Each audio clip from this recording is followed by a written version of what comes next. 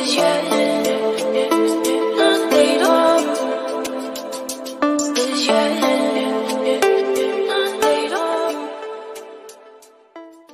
Assalamualaikum warahmatullahi wabarakatuh. Kembali lagi di Edit Channel. Di video kali ini saya akan mereview satu buah produk yaitu sarung kasur ribbon. Mungkin kalian sudah pada tahu soalnya uh, produk ini produk ini itu sudah sudah lumayan booming di daerah Paneglang khususnya.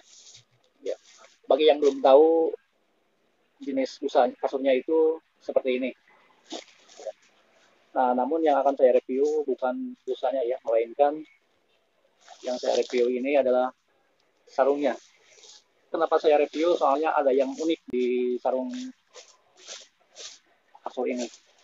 Saya beli banyak, beli 30 piece ya. Yang harganya itu dibanderol kisaran 60.000. Baiklah, kita nanti akan membuka ya. Jadi kita akan mereview bagus jeleknya itu seperti apa? Oke, kita buka.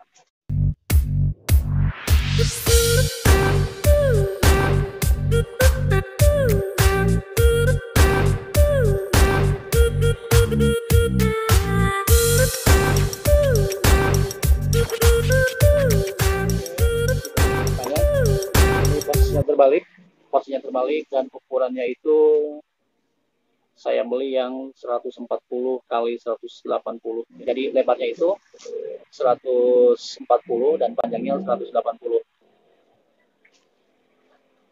nah. penampakannya seperti ini. Ini posisinya dibalik ya.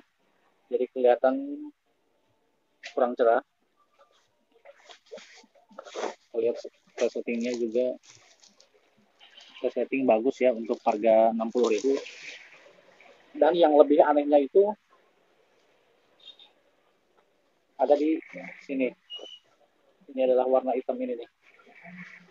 Jadi saya juga uh, belum ngerti kenapa kasur Sabjan biasanya merek Sabjan itu ya kasur Busaribon sarungnya ini seperti ini ada semacam puring yang udah jelas-jelas ini mudah sekali sobek ya. Walaupun untuk uh, sarung kasur yang ini puringnya ini lebih tebal daripada yang aslinya ketika kalian beli di pasar langsung dengan busanya. Kalau yang ini agak lebih tebal cuman tetap aja tidak lebih bagus dari si bahan ini ini kalau misalkan kena benda apa ya ini sangat mudah. Sobek kita balik buka. Ya penampakannya seperti ini.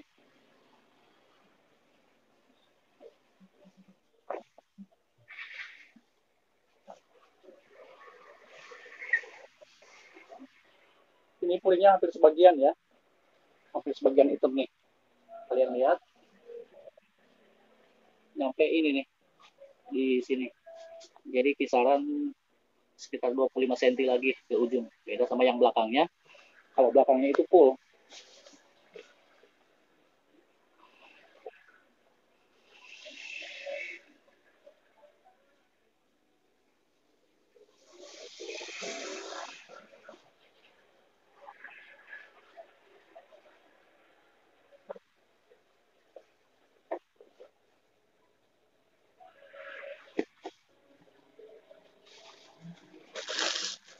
Oke, mungkin begitu aja review dari saya mengenai kasur Sabjan ya, sarung kasur Sabjan ini.